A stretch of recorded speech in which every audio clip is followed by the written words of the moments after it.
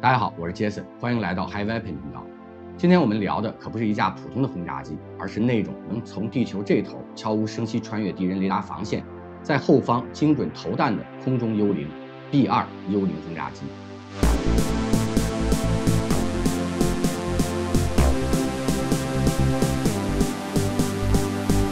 它低调的让人难以察觉，却贵得惊人，单价高达二十四亿美元，比一艘导弹驱逐舰还要贵。服役三十多年，从未被真正取代，连它的继任者 B 二幺都只能算是它的升级版，而不是完全的替代。那么，这架冷战末期设计的飞机，凭什么在现代的高科技战场上依然所向披靡？它靠的是什么隐身技术？它是怎样完成超远程的全球打击？它的秘密到底藏在哪里？更有意思的是，B 二的隐身技术虽然先进，但它竟然还有一个软肋，它居然怕下雨。后面我们会聊聊这背后的原因。接下来，我们先从它的独特的飞翼外形开始，逐层揭开这位空中幽灵的神秘面纱。说到 B 二的外形，第一眼很容易让人联想到蝙蝠侠的座驾，一整块黑色飞翼，机身没有传统飞机常见的垂直尾翼，更没有明显的机身突出部分。为什么设计成这样？答案只有一个：隐身。雷达探测其实很简单，发射电磁波碰到物体后反射回来。再根据反射信号判断目标的位置和形状。普通飞机上那些什么垂尾、机翼挂架、发动机进气口，甚至飞机表面的凹凸不平，都会成为雷达照亮的目标。而 B 二从设计一开始就把这些雷达反射大户通通给砍掉，转而采用飞翼设计，整架飞机就是一片巨大而平滑的翼面，所有结构呢都巧妙地融合在一起，没有多余的棱角和突出。你可以想象，把一张纸叠得非常平整。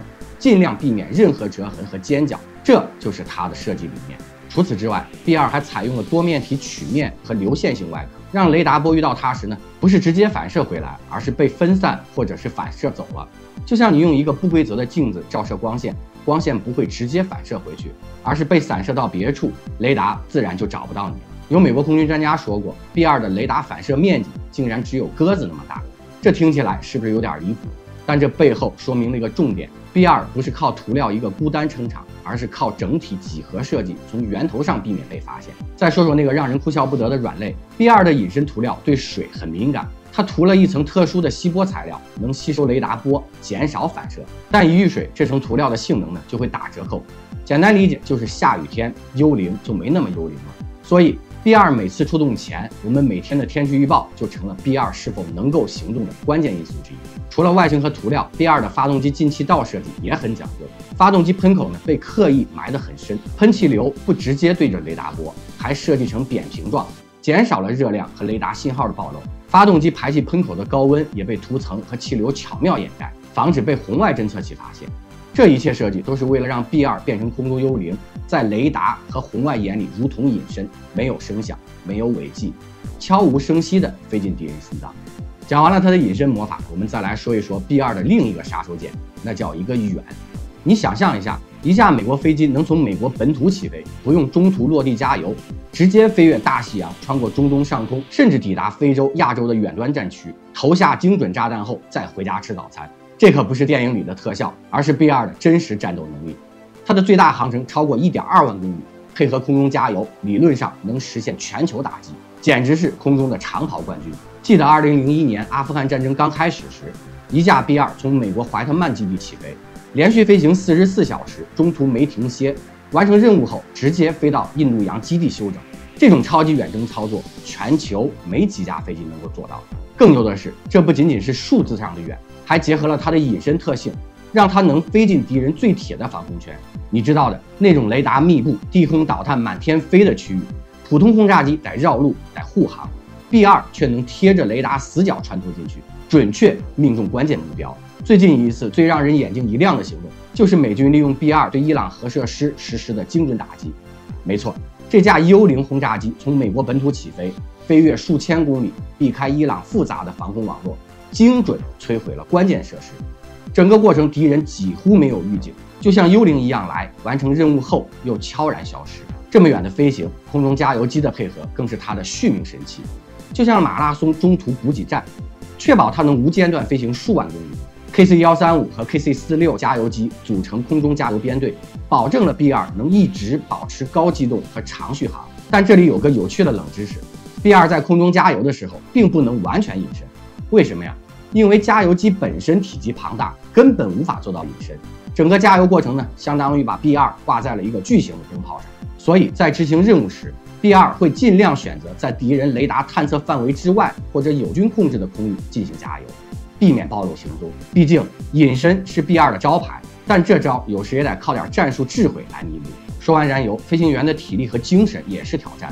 B 二的机舱呢，配备了先进的人机交互系统。飞行员可以监控飞机状态，减少负担，而多机组协同也让长时间飞行更加可控。换句话说，B 二就像一把锋利的飞行长矛，不仅能隐身靠近，还能打得远、打得深。无论你在地球哪一端，只要它上线，对方就得时刻提心吊胆。说完了隐身，我们接着来聊聊 B 二真正让人头疼的地方，它肚子里藏着的那些秘密武器。你可能认为轰炸机带弹就是挂在机翼下，像战斗机那样挂满炸弹，错。B 二可不是普通轰炸机，它的武器全部都藏在机腹的两个大型弹仓里。这样一来，外形才不会被破坏，隐身效果呢才能维持到底。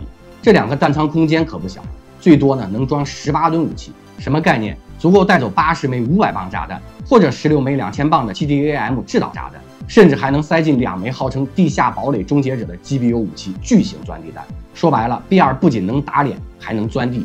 之前视频呢，我们讲过 GBU 武器巨型钻地弹，这种钻地弹长得像个巨大的铁锤，重达十四吨，能够穿透几十米的混凝土和岩石，专门用来摧毁深藏地下的核设施和指挥中心。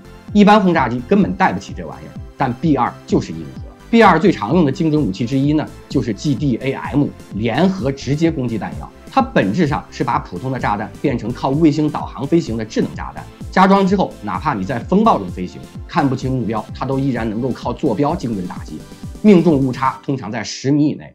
换句话说，B 二就算在狂风暴雨的夜晚飞临战场，也能把炸弹像送快递一样稳稳投到家门。而且它还能一键群发，一次任务可以同时投放多枚 GDAM，打击多个目标。这种多点打击的能力，让 B 二不仅能干掉一个指挥部，还能顺带把旁边的雷达站、电力节点一并打包带走。还有 B 二的武器投放方式相当灵活，不管是单点精准打击，还是多目标轮番轰炸，它都能轻松应对。这一点对于需要快速瘫痪敌方指挥网的斩首行动来说，简直就是必杀技。而且 B 二不仅能够投放常规炸弹，还是核弹的搬运工，它可以携带 B 六幺和 B 八三等多种核弹头，完成战略和战术层面的核打击任务。你看这家伙可不是闹着玩的。说到这儿，你可能会问：这么多高精尖武器？飞行员咋操作？别急，我们后面会聊他那套高科技的武器管理系统，保证武器投放既精准又安全。总结一下，B 二的弹仓就像一座小型军火库，既隐藏在无形之中，又随时准备释放毁灭性的力量。这种隐身加杀伤的组合，才是真正让它成为空中幽灵刺客的核心。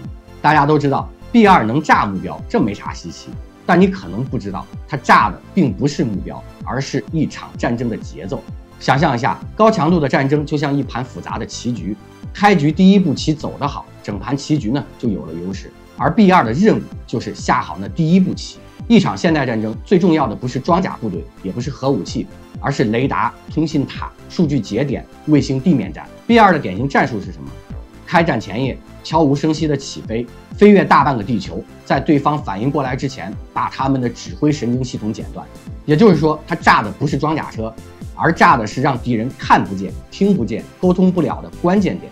大家都听过斩首行动，以为斩首行动就是瞄准敌方的高官、将领、司令部。B 二呢，确实干过这样的事儿。比如2020年代初的中东打击任务，B 二突袭摧毁了一处位于地下深处的恐怖组织的通信中心，直接导致敌方组织群龙无首。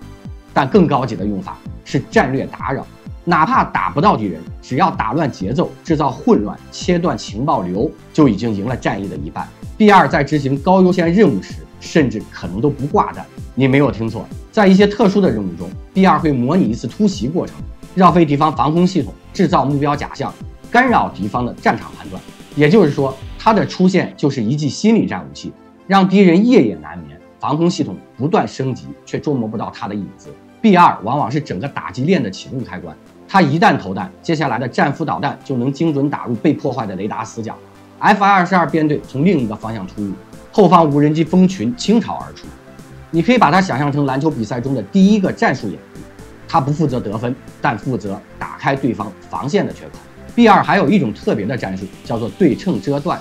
在有些行动中，B 二的任务是同时打击多个上方的通信节点和电站系统，让敌人完全无法判断哪个方向才是主攻。这种被称为对称遮断的策略，能让敌方产生错觉，判断战局走向，进而调动错误兵力。这时候，真正的攻击才悄然开始。一句话总结。在别人还没反应过来时，B 二已经写下了战争剧本的第一行。它不只是个会投弹的飞机，而是现代战争里的节奏掌控者。它从不吵闹，但每一次出现都预示着战场的风向要变。好了，聊完了 B 二的现在，我们得看看它的未来。毕竟这位空中幽灵可不是吃老本的。虽然 B 二诞生于上世纪八十年代末，但它的设计有个超前的体制，弹仓、系统构架都是模块化的。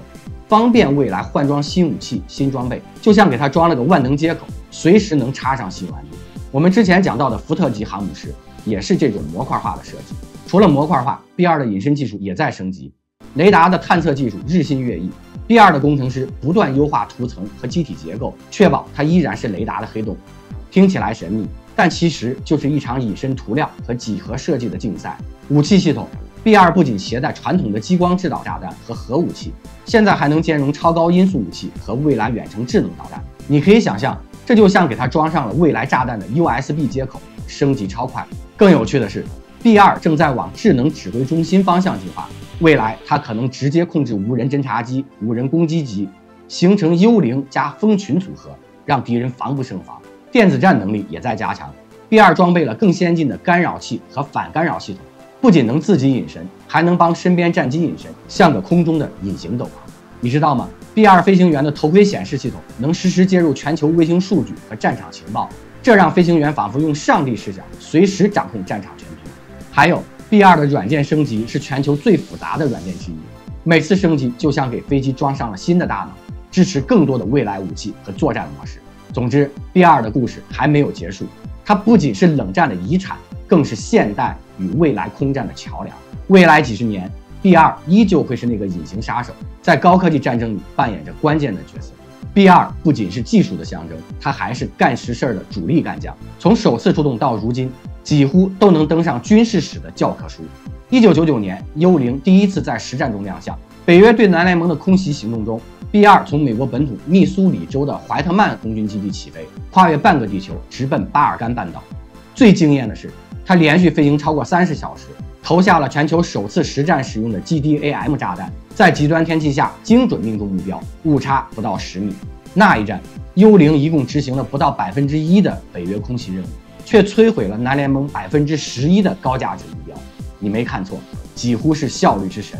到了二零零三年，B 二再次领衔出演，这一次他成为战争的第一击执行者。